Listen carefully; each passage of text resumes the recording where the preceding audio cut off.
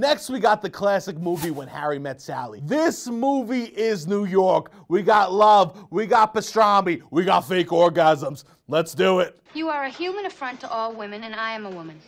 Do you see these sandwiches? They're itty bitty. What are we talking here? A Katz's sandwich is stacked. You can't get your lips around that. You gotta take a couple pieces off, shove it in your mouth, then take a bite. These are not real Katz's sandwiches. If I paid $30 for this shit, I'd be pissed.